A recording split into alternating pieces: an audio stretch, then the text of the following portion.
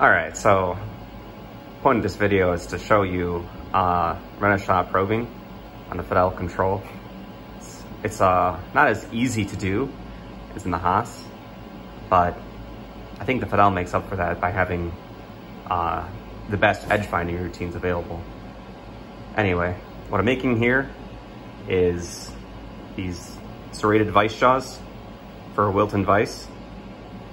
And what I could do is I could make a uh, couple of stops, kind of, and just locate off the, the flats, but sometimes it's just easier to make a quick probing program.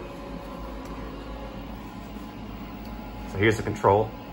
Uh, starting from the beginning, you basically just set your location where the probing is gonna take place. In this case, I'm gonna probe on the X positive side of the part. And that's the number that you see over here, this X 0.9. Scrolling down,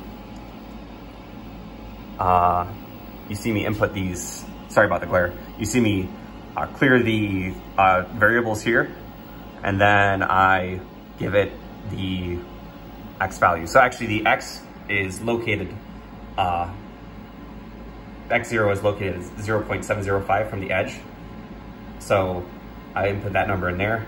The R5 plus 80 over here is just simply the uh, location where I'm gonna store that number at. And you can pull that up in your tool table. It's uh, the number is stored in, in, in, spot 80. And then this R7 plus two is uh, saving it to work offset two. That V50 equals one you see in the center of the screen is uh, telling the machine that I'm probing in work offset number one. And then of course the M98 P9013 is uh, selecting the single surface measure program. And then I, uh, at line 8.6, I, I just have the, Z clearance. After that, it's pretty simple. It's just uh, two more of the same probing routine uh, in the Y axis. So you're gonna see that happen here. Just uh, go to manual, auto, start button. All right, here we go.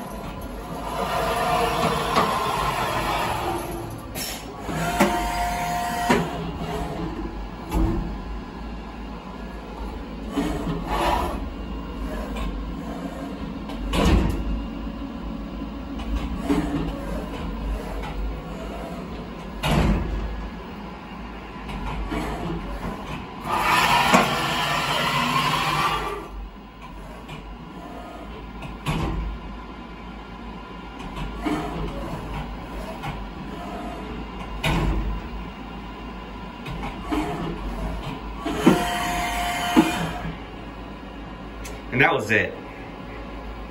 You see, there's really nothing to it. Uh, yeah, so take a look. Uh, I'm just gonna exit out, display my fixture offsets, and uh, I'd already run it earlier, and you can see that it got basically the same exact numbers. Uh, this is the second position. I sorted it in offset number three, and uh, you're gonna see that 0.705 in the uh, tool table in spot 80 now. So yeah, you can see that, that number. Same as last time, so it's, it's all good. As a tip, uh, I'm gonna open up my program again.